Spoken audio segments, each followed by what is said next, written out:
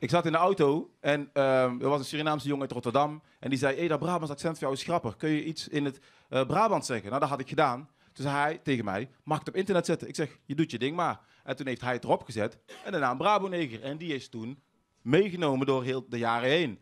Maar die naam heb ik zelf nooit, eh, nooit gekozen, snap je? Daar ben ik nooit mee bezig geweest. Maar nu merk ik dat het een grotere brug is dan een overeenkomst tussen wit en zwart. Want als ik niet alleen aan de donkere kant, maar ook aan de witte kant... als ik bij Boulevard zit of bij Pauw of bij Jinek... dan merk ik gewoon dat ook de witte kant het problemen geeft. Dus ik, ik, die naam die gaat door de jaren heen of dit jaar al verdwijnen. Niet omdat ik ervoor kies om te zwichten voor een kleine groep die altijd zeurt om die naam.